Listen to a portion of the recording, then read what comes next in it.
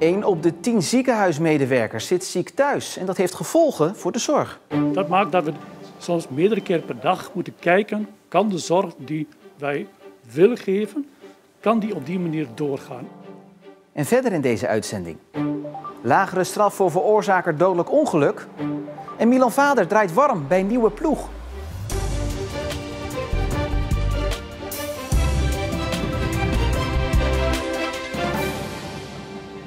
Goedenavond. De coronadrukte in de Zeeuwse ziekenhuizen is flink afgenomen. Waren er in december nog 66 coronapatiënten opgenomen, nu zijn dat er 20. Maar daarmee zijn de problemen nog niet voorbij. Want nooit eerder zaten er zoveel medewerkers ziek thuis. En dat heeft opnieuw gevolgen voor de ziekenhuiszorg. De corona-afdeling van ziekenhuis ADRZ. Er is nog maar één patiëntenkamer nodig voor de COVID-patiënten. De topdrukte van vorige maand is achter de rug. Heerlijk, heerlijk. Ja, echt. Nu uh, ja, is het weer bijna als van oud. Dus het is uh, echt fijn om weer zo te werken. De Zeeuwse ziekenhuizen hebben de afgelopen twee maanden de heftigste coronagolf ooit beleefd. Nu is de extreme drukte voorbij en is er weer meer ruimte voor gewone zorg. We zijn uh, eigenlijk weer bijna terug op het normale niveau als het gaat om de operatiekamers. Uh, ik denk dat we nu ongeveer op 75% zitten. Hè, en vanaf aanstaande maandag uh, draaien we weer eigenlijk het, het normale schema. dus dat wil zeggen in Vlissingen drie kamers en in Goes vijf kamers. Dan zitten jullie weer op 100%. Dan zitten we weer op 100%. Hetzelfde beeld in ziekenhuis Zorgzaam in Terneuzen. Ook hier wordt de reguliere zorg zoveel mogelijk opgepakt. De operatiecapaciteit zit nu op 90% We werken heel hard om zoveel mogelijk patiënten te helpen. Maar het is wel elke dag, elke week kijken wat kan wel en wat kan niet. Maar of die percentages worden gehaald, is de grote vraag. De twee ziekenhuizen kampen met een ongekend hoog ziekteverzuim van 10% We merken um, in de trend van de afgelopen weken dat het steeds verder stijgt. En dat is best wel zorgwekkend. Het is duidelijk dat het nog vele maanden duurt voordat alle uitgestelde operaties zijn ingehaald. Ja, ik zou het exacte aantal niet kunnen zeggen, maar het gaat, nou ja, reken maar uit. Als je twee maanden eigenlijk geen reguliere zorg levert, alleen spoedingrepen doet, nou ja, dan kan je wel voorstellen wat dat voor lijsten zijn. En als we dat moeten inhalen, dan gaat het om zorg die we moeten leveren naast het, uh, het gebruikelijke pakket. Dus uh, ja, dat, dat zal een hele tijd uh, duren voordat we de achterstanden weggewerkt hebben. Dat maakt dat we dus elke dag, elke week, soms meerdere keer per dag moeten kijken, kan de zorg die wij willen geven, kan die op die manier doorgaan. Minder coronapatiënten, maar een ongekend hoog ziekteverzuim. En dan hebben we ook nog die rondrazende besmettingsstorm in Zeeland. En dat maakt dat de ziekenhuizen toch nog wel even hun hart vasthouden. De hoop groeit dat het mee gaat vallen met de ziekenhuizenopnames de komende tijd. Maar het blijven toch nog wel even spannende weken. Basisscholen zijn blij met het OMT-advies om de quarantaineregels te versoepelen. Het OMT adviseert het kabinet klassen niet meer naar huis te sturen als er drie of meer leerlingen besmet zijn. De koepel van de basisscholen in Zeeland is niet bang dat dat leidt tot fors meer besmettingen. Er lopen nu ook al kinderen op school rond die geen klachten heeft, maar wel besmet zijn. Dat weet je niet. Dat weet je pas nadat je een test doet. Dat weten we ook nu al, dat er nu ook al kinderen rondlopen. Dus aan de ene kant denken we ook wel, jongens, laat het maar even uitrazen. Dan zijn we er vanaf. Maar Van Kampen maakt zich wel zorgen over het personeel. Er is in Zeeland amper vervanging voor zieke leraren en de groep is kwetsbaarder. We zijn wat ouder. Gelukkig zijn de meeste personeelsleden in het onderwijs hebben twee vaccinaties gehad en de booster. Dus mochten ze ziek worden, dan worden ze in ieder geval minder ziek. En de kans dat ze dan in het ziekenhuis komen is heel klein. Maar het blijft toch een zorg. De horeca is blij met de uitgelekte berichten dat ze vanaf morgen weer open mogen. Maar bij zo'n heropening komt wel wat voorbereiding kijken. Bij zowel ondernemers als leveranciers. Daar verkijken heel veel mensen zich vaak op. Uh, die denken van nou we doen de deuren open en we gaan weer draaien. Ja, in ons geval, uh, wij zijn natuurlijk uh, gespecialiseerd in, in speciaal bier. 42 biertaps. Die moeten allemaal schoongemaakt worden. Ja, bij ons is het nu heel druk. Echt heel druk.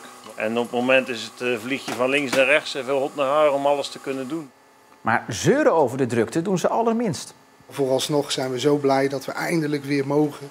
Want we hebben er heel lang op gewacht en we kunnen weer dus, ja. Ik zie het allemaal wel positief in nou. Ik hoop dat we zo snel mogelijk weer gewoon normaal kunnen draaien.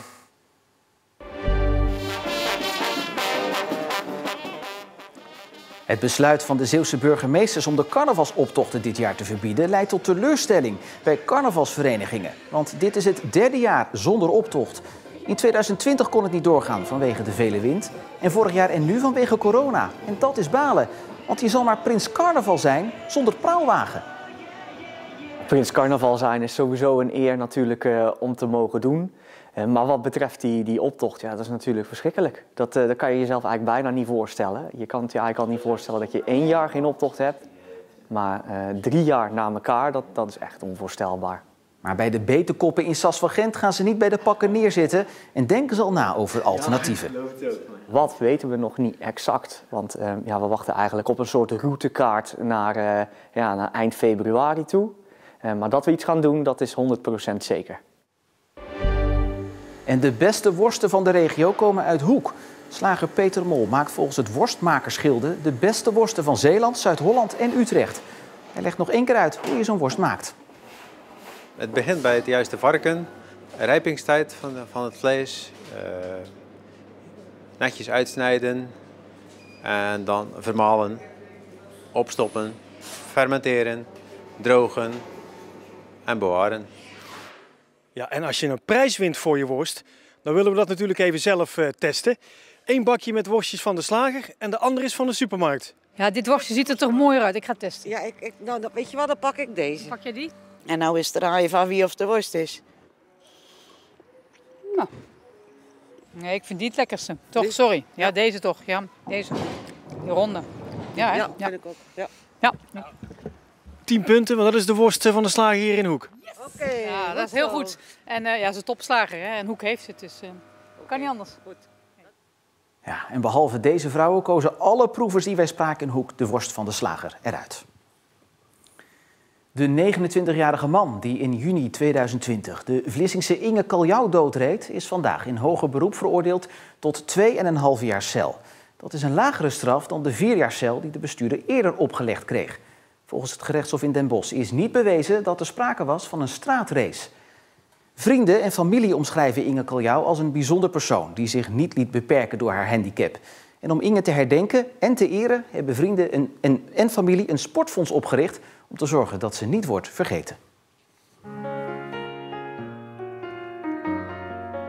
Als je met Inge was, dan, dan vloog de tijd voorbij. Dan zat je, je dacht dat er één uur voorbij was en het was eind van de middag dat, het, dat de theetuin al dicht ging, zeg maar. Dat was altijd, uh, ja, Inge kon goed kletsen, maar ook vooral heel goed luisteren. Inge Kaljouw zat in een rolstoel vanwege de ziekte van golden haar. Daardoor werden haar wervelkolom en schedel vervormd. Inge liet zich echt niet beperken. Die ging gewoon op vakantie naar Australië, zeg maar. En dan, ja, dan regelden ze gewoon dat dat... Want kijk, de voorzieningen zijn er altijd wel, maar je moet altijd best wel veel moeite doen om het geregeld te krijgen. Maar Inge kon alles goed regelen. Inge was een, uh, wel een voorbeeld hoe zij in het leven stond uh, met haar beperking. Dus uh, dat, dat raak je dan wel, als zo iemand wegvalt. Ja, dat, dat was gewoon heel heftig. In het begin besef je het ook niet. Ik heb ook echt weken ja, bijna niet kunnen werken. Gewoon een concentratie van niks. Gewoon omdat je alleen maar daarmee bezig bent. En het enige wat dan hielp was om er daadwerkelijk mee bezig te zijn. Ja, om een fotoboek te maken, om maar praktisch bezig te zijn. En ja, te blijven denken aan de leuke dingen. Maar ja, zeker in het begin is dat wel echt uh, heel moeilijk.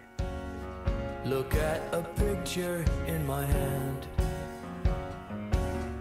And feel the memories return flying in from everywhere. Yeah, the far away.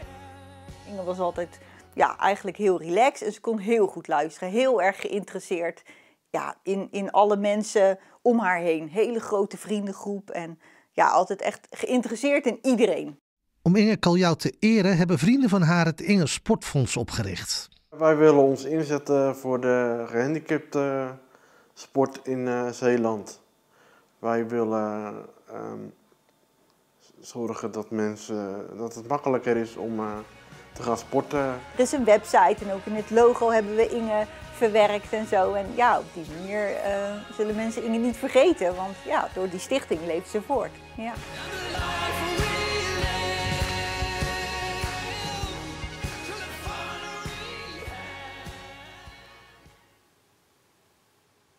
Milan Vader uit Middelburg rijdt sinds 1 januari voor Nederlands bekendste wielerploeg Jumbo-Visma. Het is een nieuwe stap in de carrière van de mountainbiker, want hij gaat dit jaar ook wedstrijden rijden op de weg. De afgelopen weken was Milan Vader vaker in Spanje dan in Nederland te vinden. Op trainingskampen maakt de Middelburger zijn eerste kilometers in het shirt van zijn nieuwe ploeg Jumbo-Visma. Toen ik 1 januari voor het eerst in, uh, in de geel-zwarte kleuren mocht, uh, ja, voelde ik me best wel trots. En eigenlijk nog steeds. Uh, en je merkt ook onderweg ja, tijdens het trainingsrondje dat, dat er toch net iets meer mensen omkijken. De mountainbiker is terechtgekomen in de wonderenwereld van de grootste wielerploeg van Nederland. En meteen lag vader op de kamer met een van de beste wielrenners van deze tijd, Primoz Roglic. Tot nu toe is zijn overstap meer dan goed bevallen. Het is een hele mooie ploeg, heel familiair. Uh, wat je al zegt, we hebben super goed getraind en ja, het, is, uh, het is super professioneel zeg maar. Dus ja, alles wordt je uit handen genomen en uh, er wordt een optimale situatie gecreëerd om, om beter te worden. Want beter worden, dat is wat vader wil als mountainbiker en nu ook als wegwielrenner. Na zijn tiende plaats op de Olympische Spelen in Tokio was vader toe aan iets nieuws. Het is eigenlijk een unieke situatie en daar ben ik hartstikke blij mee dat ik deze kans heb gekregen.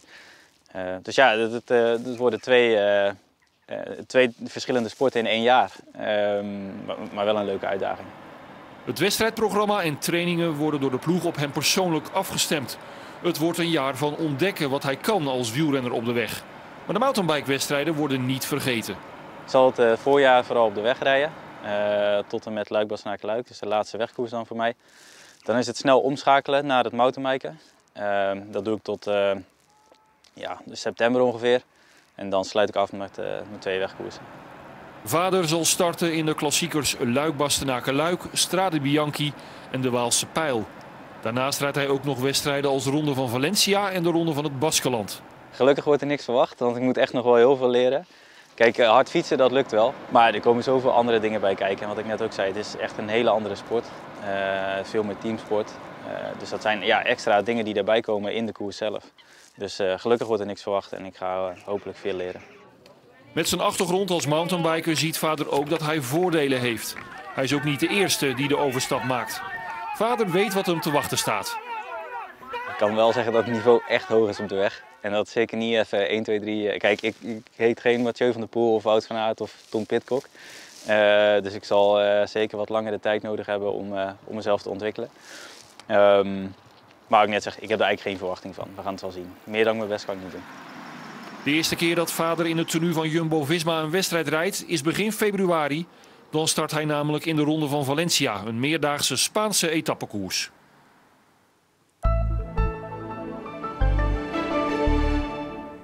Het was een grijze bedoeling vandaag met weinig zon en koud, want het werd niet warmer dan 4 graden. Vannacht klaart het op en daarbij kan dan weer mist ontstaan. Morgen wordt het uh, maar 6 graden, is het opnieuw bewolkt en komen alle tinten grijs opnieuw weer voorbij. Ja, het boek is spannender. En tot zover Zeeland nu voor vandaag. Nog een mooie avond.